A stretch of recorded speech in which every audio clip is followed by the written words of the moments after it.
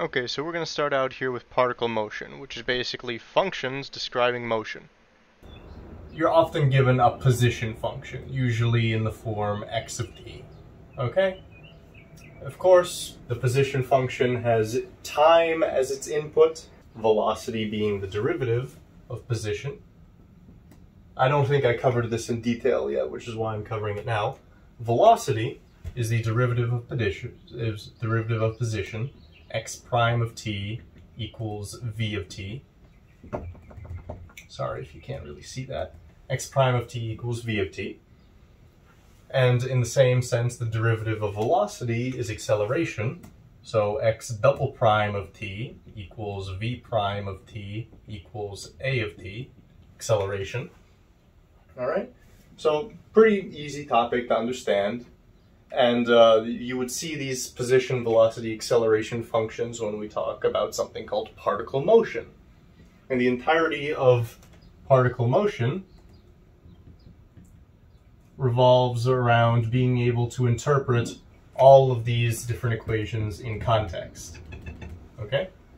So, an example of a problem you might be given is where you're given x of t, you're given a position function for a particle that moves unilaterally across the x-axis, okay? And you're given it as uh, 3x squared plus 4x plus 2, all right? Let's say it's that.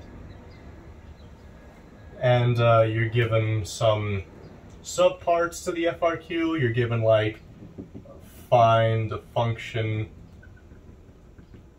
for the velocity of the particle and you would just differentiate the position function, you would get that. Another uh, type of uh, subpart you would get is uh, something along the lines of um, determine at what time at what times s in parentheses because it'd be too good of them to outright tell you whether there's more than one time or not. At what times the particle is at rest, and the particle is at rest when the vol velocity is zero. Makes sense, right? So you take your velocity function and you set that equal to zero, and you solve for t. That would give you the times that the particle is at rest. Often this is coupled with a second question that states at what position is the particle at rest. And if it asks you what position is the particle at rest, you would simply do out this problem, solve for t, and now that you know the times when the particle is at rest, you plug the time into the position function, and that gives you the position of the function, the position of the particle when the particle is at rest. They often ask you something just about average rate of change, but they usually do that with the second derivative just to uh, slip you up. So one problem would be like find the average acceleration of the particle on some interval, let's say on t equals 1 to t equals 2. And this is basically testing, do you know uh, how to interpret an average rate of change? Because the average acceleration is v of 1, oh sorry, v of 2 minus v of 1 over 2 minus 1. A lot of kids see average acceleration and they do a of 2 minus a of 1. That's, that's not what this is, okay? Average acceleration is an average rate of change. It's the average of the derivative. So you're taking an, um, an I'm going to call it an imperfect derivative here. That's what this equation does, okay? So you can't take the derivative of acceleration and get acceleration. You need to do the average rate of change or a type of derivative of velocity to get average acceleration, okay? So that's pretty much all of particle motion. It's uh, not one of the hardest topics to understand, but it's going to uh, play a very big part in serving as the type of problem set for the next big application of the derivative, which is graphical analysis. So let's move on to our first application, and these are going to be in ascending order of difficulty. So if you're having trouble with uh, something, try rewatching the video because this is going to get progressively harder. So first, we have got the MVT. Like the IVT, it's an abbreviation. It's abbreviated meaning the mean value theorem. Okay? So the mean value theorem states that if a function is both continuous and differentiable, or just differentiable, because remember, if it's differentiable, it has to be continuous. If it's differentiable on the closed interval a to b, and let's select two points a to b, let's try this is point A, and let's say this is point B. If a function is continuous on the closed interval a to b,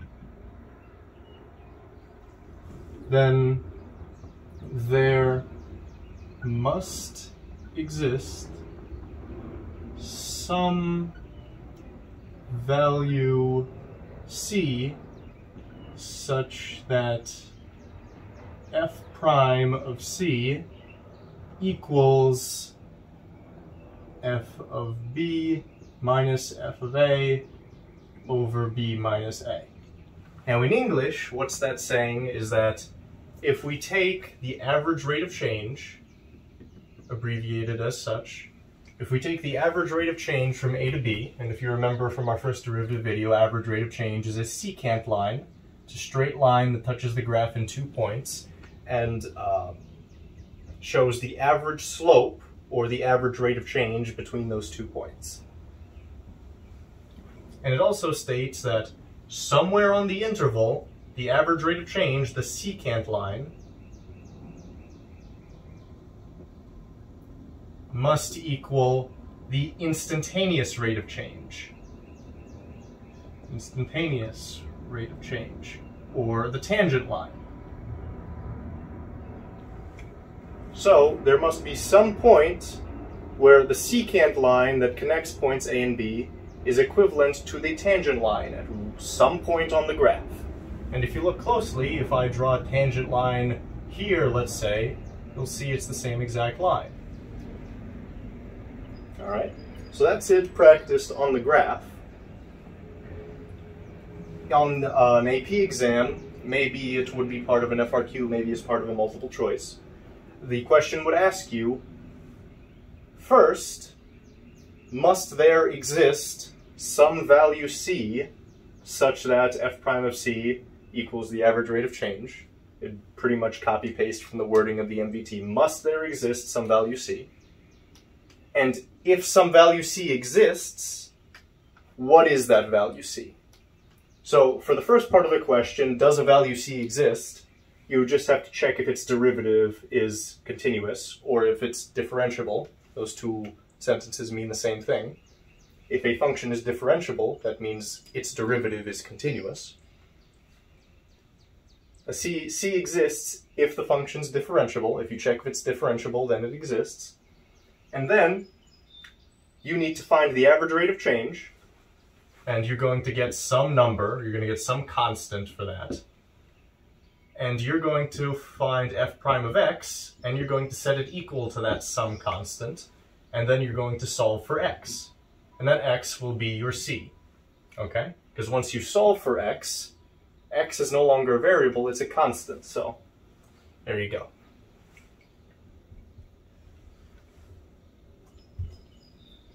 there is a derivation of the MVT called Rolle's theorem. It's pretty much the same thing as the MVT, though it's a special case. Rolle's theorem Rolle's theorem states that if you have a squiggly diggly function, it doesn't have to be a squiggly, any function, and if you, any function, and if you pick two points on that function that are at the same y value, any two points on the function with the same y value, that means the function has to achieve a horizontal tangent line, horizontal tangent line indicating a slope of zero. It must achieve a horizontal tangent line at least once. You can see that right here. And this is derivation of MVT, because if you take the secant line, if you take the average rate of change between the two points, you'll see the tangent line is also horizontal. Okay? You don't need to memorize the names. You don't even need to memorize Rolle's theorem as a separate theorem. It's just important to know that, to, to make that distinction instantly, that if two points are at the same y value, the average rate of change is zero. And second of all, the derivative must equal zero at at least one point, at at least one x value between those two uh, points, a to b. That's MVT. Pretty simple. I think it's pretty simplistic to understand. You probably won't need much practice with this. 10 problems probably be enough. But let's move on. Again, these are progressively increasing in difficulty, so bear with me. Next, we've got local linear approximation, or short, just linear approximation. Okay? Now, you're going to see linear approximation pop up again much later if you're taking Calc BC, where we evolve linear approximation into something much more complex known as the Taylor series. But that's back in series, that's the last unit of BC. Anyway, linear approximation is basically got the gist of this. If I have a function, let's say some trig function, sine, cosine, whatever this is, let's say I don't know what this function is. Okay? Because I don't. I don't know what this function is. But I know that this point right here, let's call this uh, 4 comma 2. I know the point, and I know f prime of 4 means the slope of the tangent line at this point. f prime of 4 equals, what does that look like? I'd say 1.5. I'm given a point, and I'm given a derivative. Okay? Linear approximation, or local linear approximation, states that I can draw the tangent line to that point, and I can use the tangent line to approximate where the function is going. Okay? Now, if you'll see, when we are really close to 4 comma 2, the tangent line looks a lot like the graph. Therefore, the tangent line would be a useful approximation because the two are very similar to one another. But as we uh, distance ourselves further and further away from the point 4 comma 2, the tangent line and the function diverge. They're no longer useful. That's why this is often called local linear approximation, because it's only effective locally in a constricted area surrounding the uh, point of interest. So the way you use local linear approximation to approximate the value of the function is, let's say the question asked you to find f of 4.1. That's commonly how these questions are asked. They ask you 4.1 or 4 point some decimal. Okay, and the way you would do that is you would find first the distance between the two x values. 4.1 minus 4 equals 0.1. That is our change in x, delta x. And then you would find the derivative at your original point. Remember, you're not taking the derivative at the other point because you don't know where the other point is and you don't know the value of the derivative at the other point. You're not given what this function is. You're given a table of values. So you only have as much information as you need to do this. Anyway, once you get delta x, once you get the change in x, the formula for uh, local linear approximation is f of 4.1, or whatever your other point is, is approximately equal to delta x multiplied by f prime of 4. And you can see that played out here on the tangent line. f prime of 4 is the slope of the tangent line. f prime of 4 is pretty much, f prime of 4 is in this case the same thing as change in y over change in x. And we substitute like that. We get f of 4.1 is approximately equal to delta x times the change in y over the change in x. These cancel. Let's, let's play this out. 0.1 times 1.5 delta x times f prime of 4 equals 0.1 times 1.5 equals 0.15. That's our change in y. And let's add the original y value plus 2. Therefore, f of 4.1 is approximately 2.15. Okay? That's what our tangent line tells us. 4, 2.15 is a point on the tangent line. It's not necessarily a point on the function. Remember, 2.15 is an approximation of the function. It's an exact value on the tangent line from uh, f prime of 4. That's local linear approximation. What a lot of kids uh, get tripped up on is uh, when they're given, like, let's say 4 comma 2, and they're asked for 3.9, so they have to go backwards. Again, it's nothing different. Same formula. You just gotta be careful with where your negatives are. Okay? Next. Oh, I remember foreshadowing this a while ago. L'Hopital's rule. L'Hopital's rule. You know, I've seen other uh, other people on YouTube who do calc review videos call this L Hospital's rule. Please destroy their comment section. Okay, they they are not fit to teach calculus if they call this L Hospital's rule. This is L'Hopital's. All right. Understand me? Good. Good. It is now your moral obligation to bully anyone who calls this L Hospital. It is a disgrace to Newton and Leibniz, the inventors of calculus. Anyway, let's let's move on. L'Hopital's rule states the following. If the limit as x goes to c of f of x evaluates to an indeterminate form of 0 over 0 or infinity over infinity, etc., then the following rule holds. So this is our condition. We have to meet this condition in order to meet L'Hopital's rule. Following rule holds. Okay? And the rule is as such. Let's say you're given the limit as x approaches c of f of x over g of x. And that evaluates to a 0 over 0 indeterminate form. You're able to say that that is equivalent to the limit as x goes to c of f prime of x over g prime of x. And that will hopefully get you some limit L.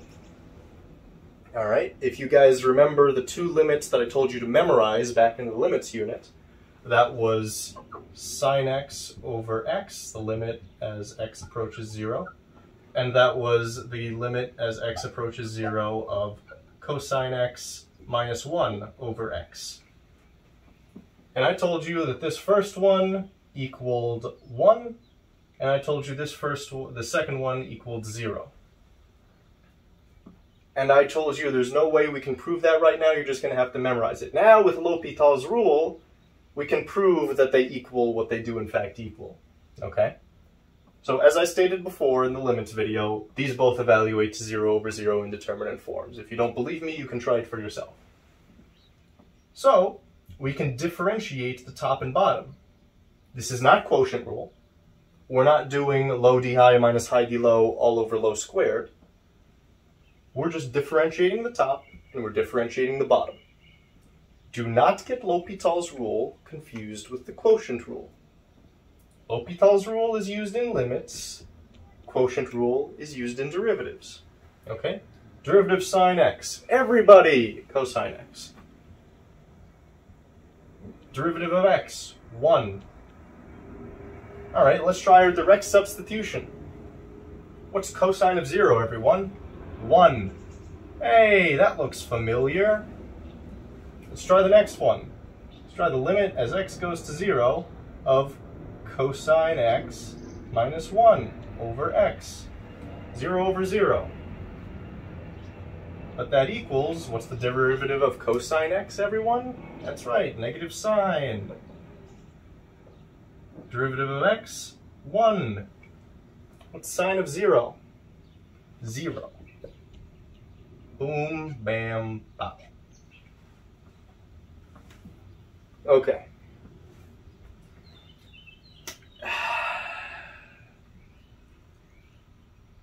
Now's where things start to get really tough.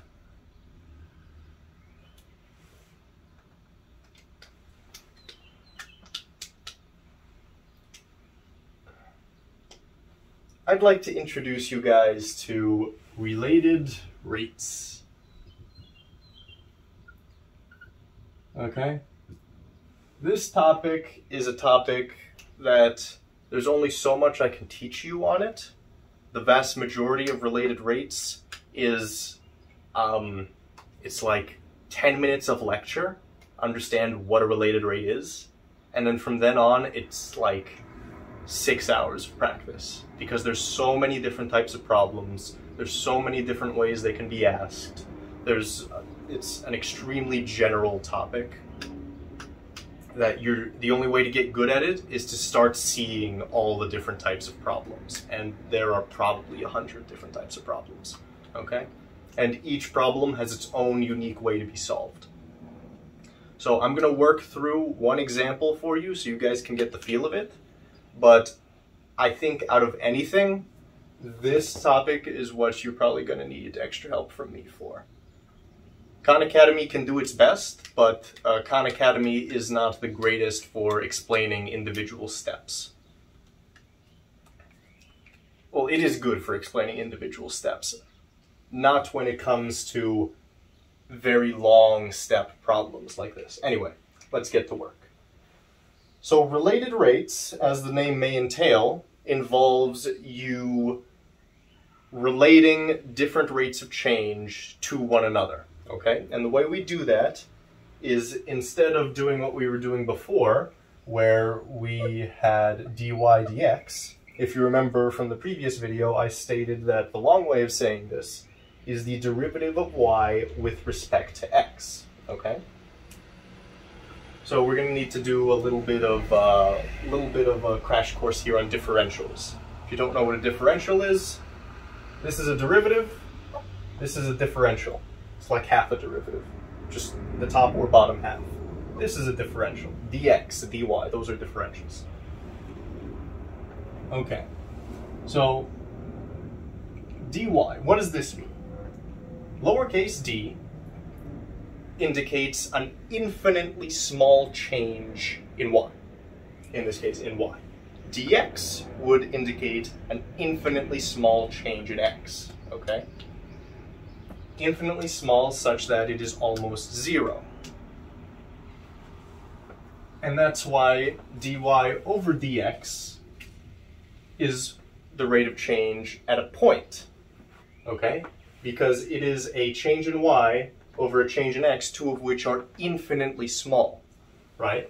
This is opposed to delta y over delta x, which is a rate of change over a period, okay? These this these are both rates of change, and we're relating how y changes to how x changes. In this case, over a period of time. In this case, at an instant. Okay. What this tells us is it tells us how does y change when x changes? And that's slope. That's what a slope is. How does y change when x changes? And for that reason, every time you took the derivative of an x term, the derivative of an x term was always 1. Okay? Because if you're comparing something to the rate of change of x, and you compare x to the rate of change of x, that's x over x, which is 1. Okay? But if we took the derivative of y, and we take the derivative of y with respect to x, that's dy dx. What I'm trying to get across here is that you can differentiate different variables, okay? And you need to determine which variable you're differentiating them with respect to, okay? The variable that you're differentiating with respect to, in this case x, if you differentiate with respect to x, that means the rate of change of x remains constant, and you're seeing how y behaves when the rate of change of x is constant. So in related rates, we don't differentiate with respect to x anymore, we differentiate with respect to t, with respect to time. That's what t stands for. So if I gave you the equation y equals x, in a related rates problem, you would differentiate with respect to time. Whereas if you differentiated the left side, the derivative would be dy dt, the rate of change of y with respect to time, equals dx dt, the rate of change of x with respect to time. It's not dy dt equals 1, it's not dy dx equals 1, because the reason that we would always get 1 for this is when we tried to take the derivative of x, we would get the rate of change of x with respect to x. d dx over dx equals 1. That's why the derivative of x is 1. Anywho, in a related rates problem, we're differentiating with respect to time.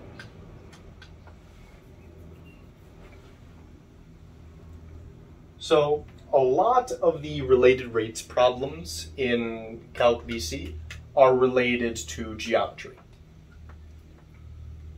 So eh, because they're all related to geometry, you're going to need to memorize all the different geometric formulas.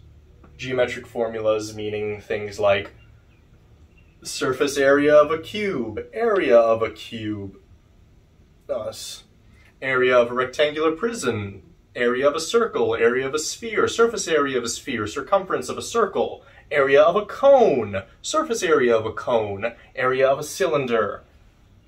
All the geometric shapes. Uh, Pythagorean theorem, a squared, a squared plus b squared equals c squared. Uh, SOHCAHTOA, sine equals opposite over hypotenuse.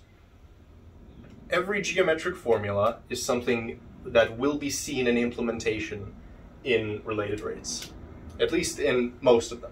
Some of them do their own thing, but you'll see those as you experience more related rates problems, okay? So, personally, my favorite uh, related rates problem is the lamppost problem. And I'm doing this as an example with you guys because it's one of the few related rates problems that I've discovered a shortcut to. Okay? And I'd rather me teach you the shortcut rather than you try the problem on your own not knowing the shortcut. So the a related rates problem generally has this format. Okay? A man is six feet tall. He is walking away from a lamppost that is 15 feet tall. His speed, speed of how fast he's walking away from the lamppost, his speed is 4 feet per second. Okay? As the light from the lamppost shines on the man, it creates a shadow.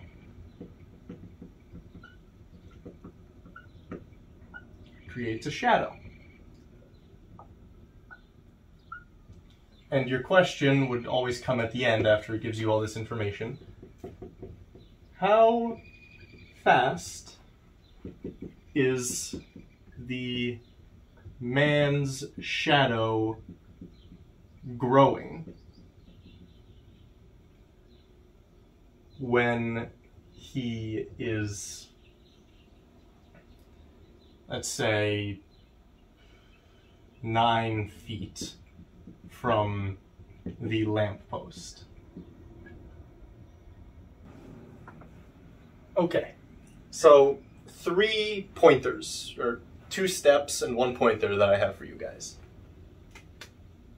My advice, first and foremost, is in related rates problems, you must always give your answer with correct units.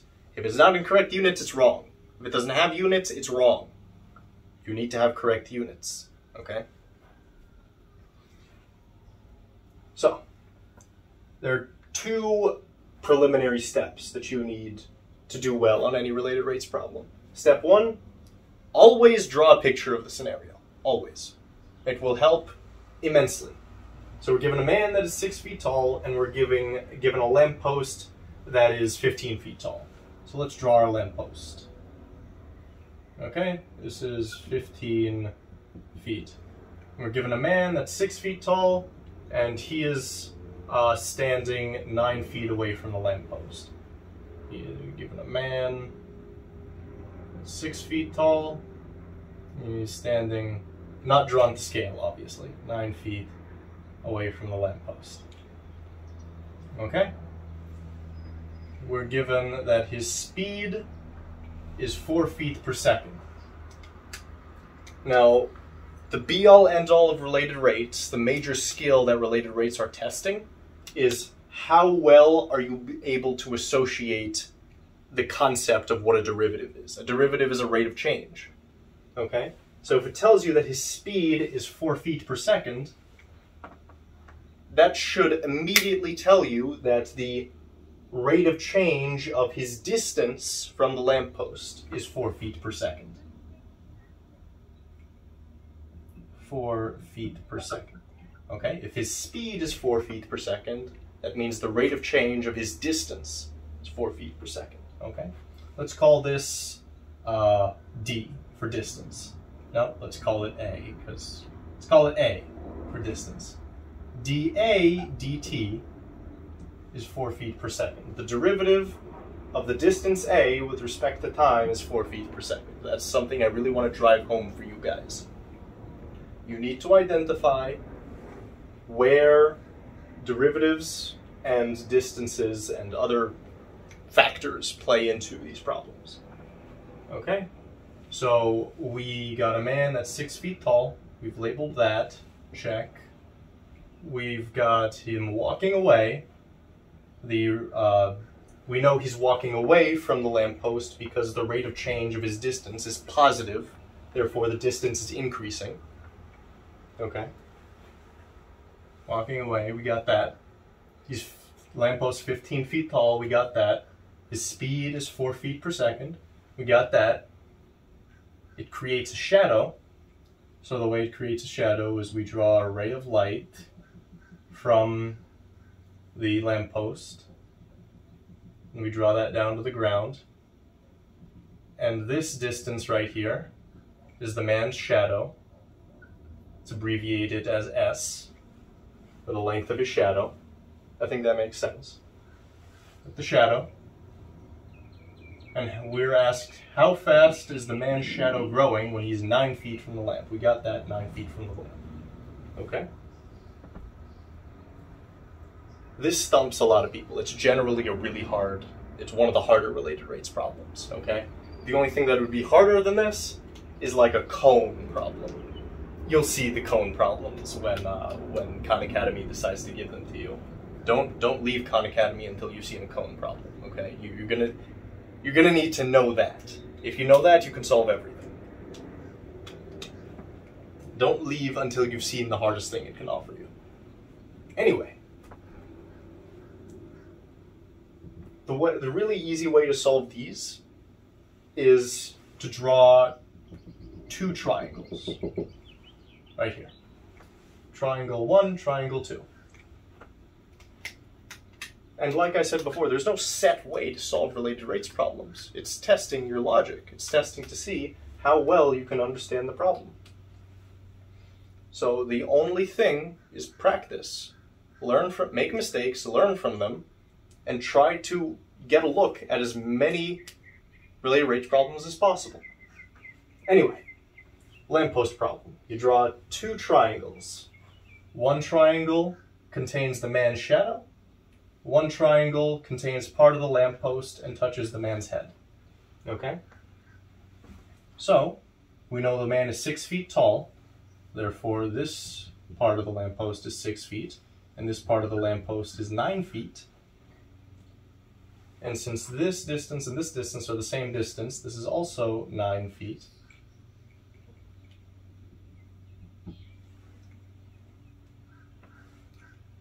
Okay.